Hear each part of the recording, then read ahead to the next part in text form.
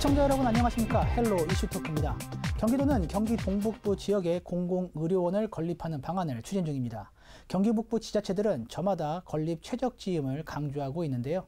동두천시 역시 예외는 아닙니다.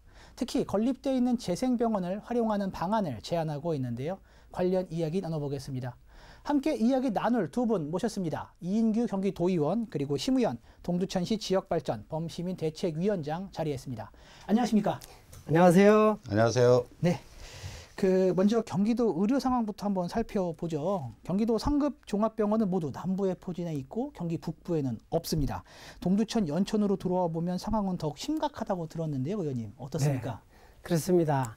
동천 연천 약 13만 인구 중에서 어, 응급실은 동두천은 성모병원 한 군데 있지만 연천은 네. 아예 응급실이 없는 상황입니다. 음. 이렇게 응급병원이 없다가 보니까 응급상이 발생되면은 어, 골든타임을 놓치고 어, 근 1시간 가까이 돼야지 의정부 성모병으로 이송이 가능합니다. 음, 이 70년의 안보 희생을 감수한 그런 지역으로서 동두천이 얼마나 의료시설이 열악한지 우리는 이것으로 단적으로 알 수 있습니다. 네. 그 사실 동두천에는 이제 재생병원 건물이 있습니다. 그런데 이제 건물만 24년째 이제 있고 개원도 못 하고 있는 그런 상황인데 의원님 그럼 이런 대규모 병원이 그동안 방치된 이유는 무엇인가요? 착공된 이후에 그 종단을 대표하는 그 대표가 그러니까 사망한 이후에 종단 내부의 갈등으로 인해서 공사가 중단되어서 지금까지 음. 골조하고 외부 외벽 공사만 진행된 상태에서 약 한 23년 동안 방치되고 있습니다. 음, 그러시군요. 네. 알겠습니다. 그 지난 5월 동두천시 지역발전 범시민대책위원회가 이제 발대식을 열고 본격적인 활동을 시작했습니다. 이제 핵심 아젠다로 공공의료원 유치를 꼽았는데 그 이제 서명운동 등 많은 활동하신 걸로 알고 있어요. 어떻습니까, 위원장님? 그렇습니다. 범시민 그 서명운동과 동시에 김동연 지사님 또 네. 그 도의회 의장님 의장. 면담과 네네.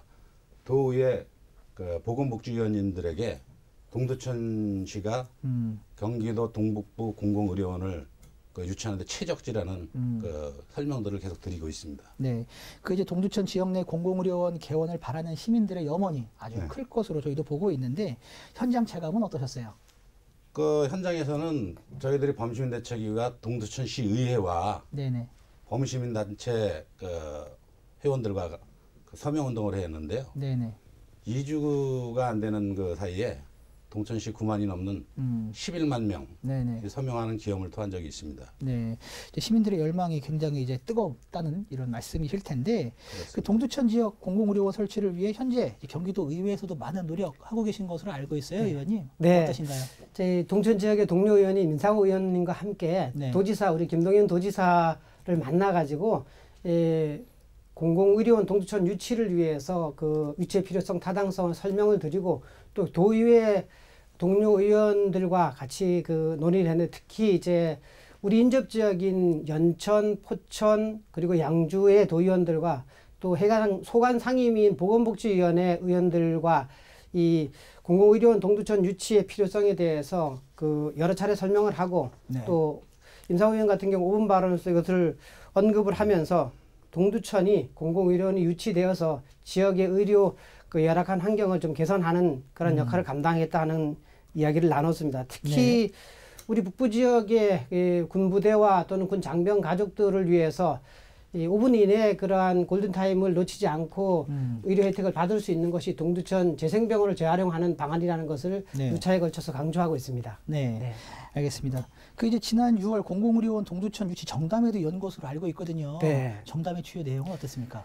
네. 제가 이제 사실은 그때 좀 그 다리를 다쳐가지고 병원에 아, 입원한 예, 예. 상태에서 예, 휠체어를 타고 보건복지위원장실에서 정담회를 했습니다. 네. 어, 실무적으로 이것이 유치에 필요한 부분이 어떤 것이 점검해야 되는 것, 어떤 것이 필요한가를 다시 한번 확인하는 차원에서 에, 경기도청의 건강 보건건강국장 과장 팀장 그리고 도의회의 어, 보건복지위원회 위원 소관 상임위 위원들과 또 우리 TF라 그래가지고 지금 공공의료원 그 정상화 추진 TF단이 있습니다. 그 TF 네네. 의원들과 그리고 동천시의 우리 존경하는 범대, 범시민 대책위원장님 또 사무국장님 그리고 시청의 아, 미래전략 팀장 그리고 또 보건소장 이 실무자들을 한 자리에 모여가지고 정담회를 했습니다. 그 핵심 네. 내용은 이 재생병원을 재활용해서 이렇게 동두천에 공공의료원을 유치하면은 네네. 어떤 경제적인 유발 효과도 있고 지역의 의료 서비스의 그런 제공에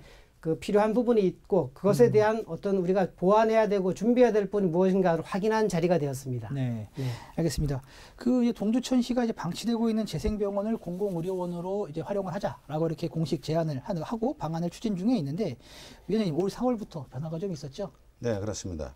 당시 그 동천 그 박형덕 시장님께서는 네, 대순진리와의 간담회에서 재생병원을 경기 동북부 그 공공병원으로 네, 네, 저저 할 수 있도록 지원을 해달라고 요청을 하였고 네, 대순진리에서는 그것을 수용하여 음, 별관병동 214병상을 제외한 네, 경기도가 원하는 병상 수만큼 음, 경기도가 원하는 기간만큼 네. 무료로 임대 부상으로 임대하겠다고 제시하였습니다. 네, 알겠습니다. 그 이제 동두천시와 대진의료재단이 이제 공공의료원 유치를 위한 무상 임대 협약을 이제 체결했다라는 말씀을 주셨는데 그 지어져 있는 재생병원을 공공의료원으로 이제 활용할 경우 가장 큰 장점은 바로 사업비 절감과 공기 단축이겠죠. 네, 무엇보다도 예산 절감이죠.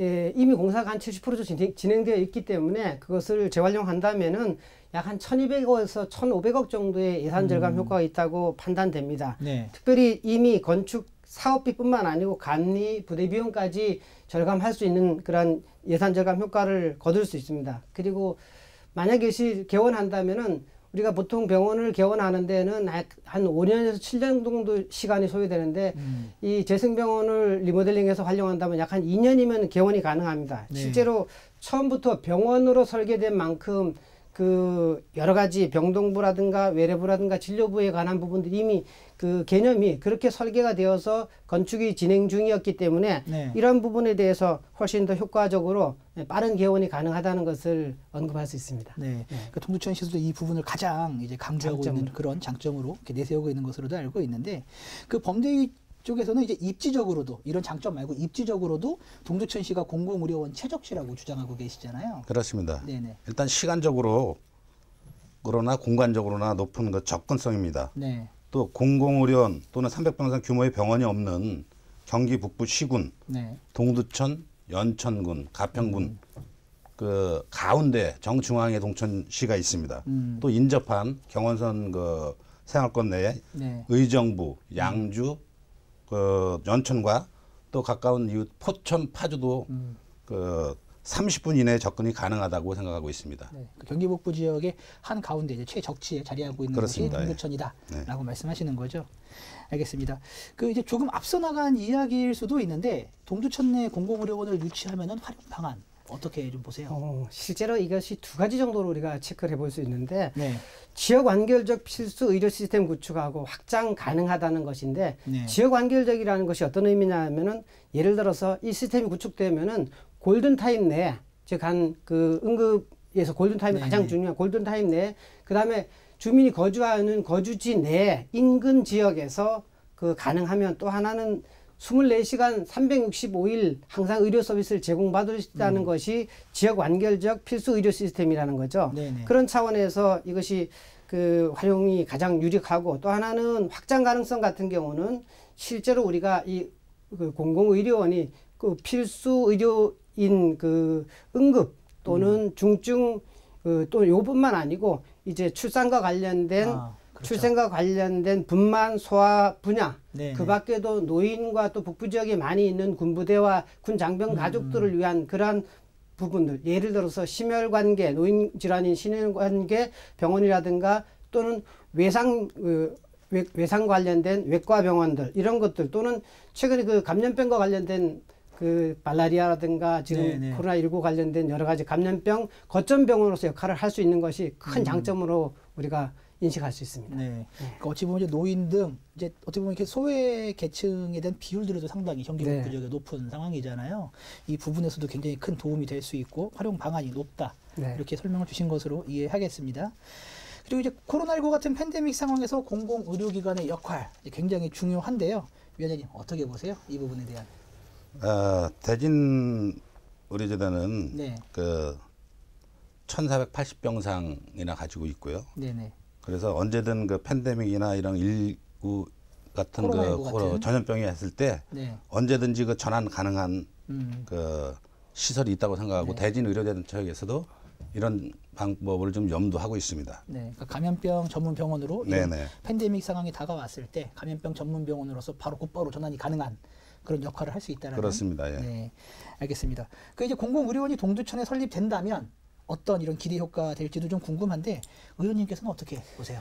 어, 무엇보다도 동두천이 그 의료 취약 지역, 의료 사각지대라는 그 오명을 벗어날 수 있다는 것이 음. 제일 큰 것 같고 네. 그 동두천에 공공 의료원이 유치된다면은 어, 전염병 관리라든가 또는 우리가 그동안 70년의 안보 희생 도시라는데 이것이 정말 거기에 머문 것이 아니고 도지사가 음. 이야기하는 기회의 경기 그러한 어떤 도정 철학과도 맞다는 생각이 돼서 여러 후보지가 있지만 동두천이 반드시 공공의료원 도립병원인데 일종의 도립병원이 그렇죠. 동두천에 네. 유치를 확정을 해서 동천 시민뿐만 아니고 인근 지역의 주민들이 그 의료 서비스 그 공공의료 혜택을 받아서 그 공공의료의 본연의 모습을 달성할 수 있는 그, 그 병원으로서 역할을 감당해 갈 수 있는 음. 최적지라는 생각을 저는 하고 있습니다. 네. 네.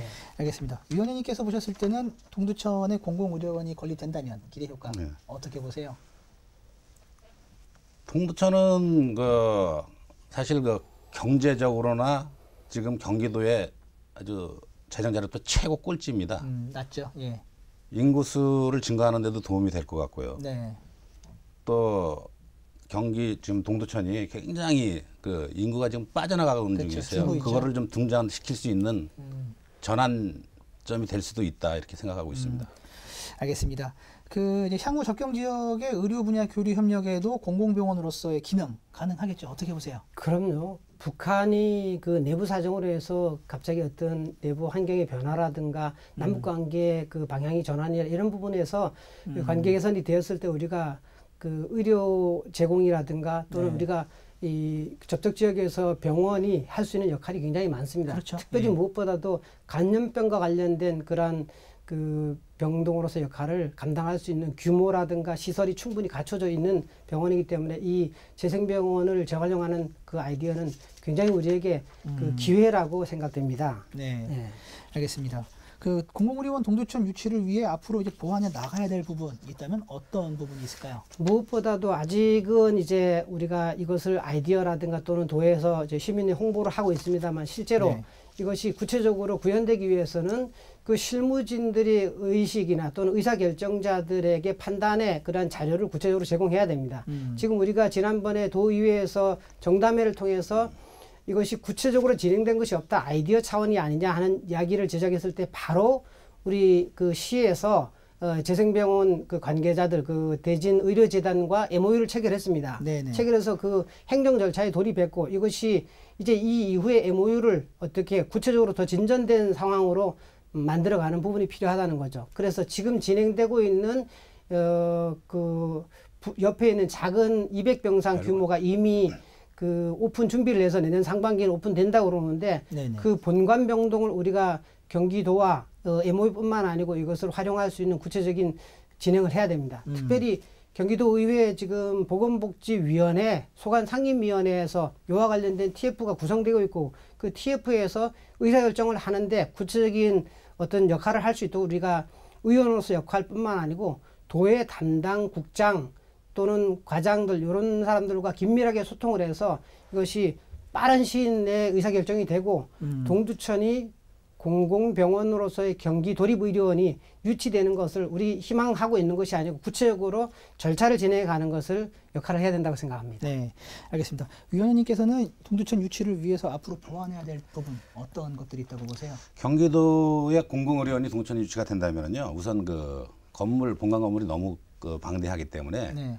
경기도와 대진의료재단 간에 이게 좀 그 공간과 이거를 음, 협의. 하는 협의를 해나가야 되고요. 네. 공공의 수용 가능한 그 200병상에서 300병상 정도를 이렇게 나눠서 음. 그 관리할 수 있는 그 시스템을 만들어야 된다고 생각합니다. 네. 그리고 대신 의료재단 층에서는 이제 그 전문 전염병 전담병원 음, 대비 시설 등을 통해 건물 활용 방안을 찾도록 음. 보다 세부적인 노력을 할 필요가 있고 네네. 또 거기 그 개원을 하게 된다 그러면 제, 대진 의료전에도 마찬가지고 의사 수급 문제로 인해서 그렇죠. 예.